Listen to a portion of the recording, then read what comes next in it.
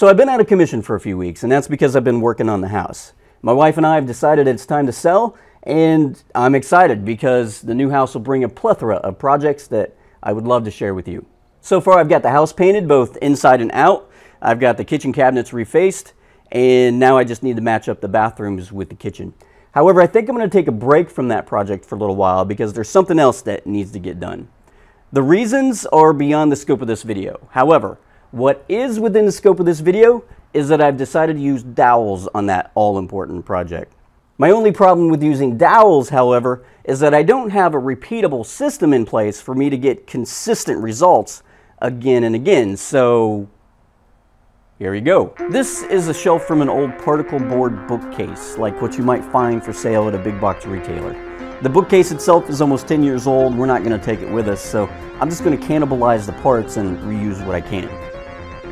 This is a scrap piece of pine, and this is a piece of 1x3 oak. I'm using oak to reface the cabinets in the house, so I've got a lot of this stuff laying around. I'll glue the scrap pine to the underside of the piece I'll be using as the base of the jig.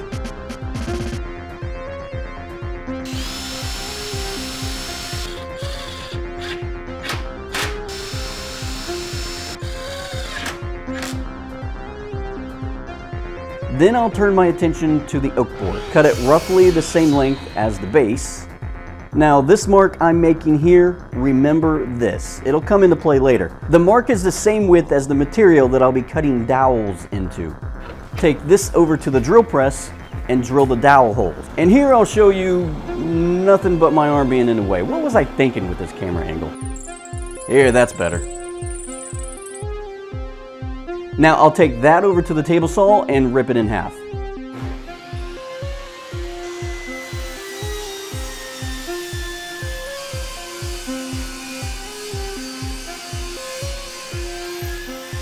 The jig will be clamped in my bench vise. To keep the vise from racking, I'm going to place this spacer in first.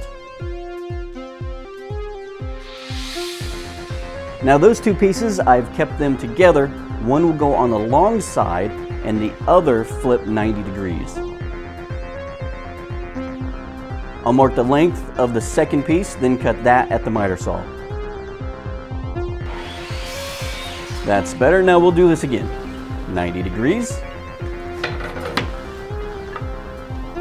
The two pieces need to be exactly corner to corner with each other or this will be off. I want to be able to remove these pieces, especially this top one, as you'll see later. So I'll attach them with dowels. I'm feeling from underneath the jig when the pin is flush with the bottom. Then I'll just flush cut the tops.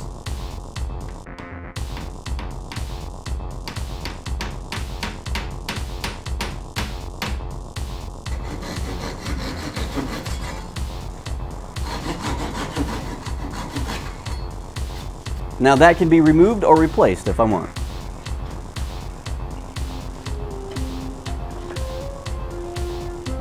Now the other side.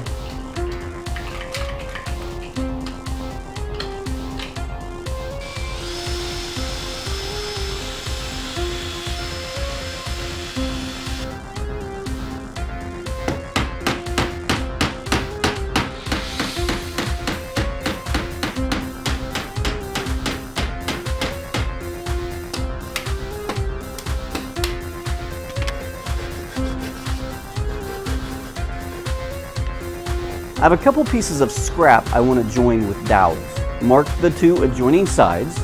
Take the first piece. I have to flip this over onto the jig to drill into the right side.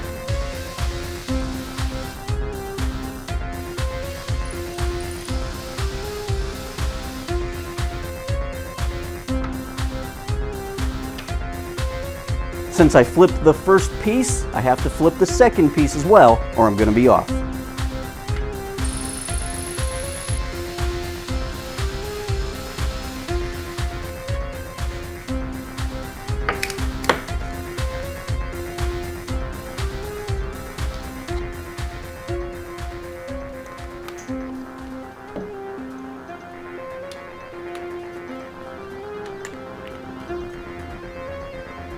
There is my dowel joint, and that doesn't look half bad actually. Now let's say I want a dowel not at the end of two pieces, but in the middle of one. I'll mark one side of the adjoining piece, remove the top section of the jig. On my example here, I have to transfer the mark to the back side since I had to flip the first piece. I have to flip that second piece. Remember that mark I pointed out earlier in the video? It comes into play now. Line up the mark on your piece to the mark on the jig.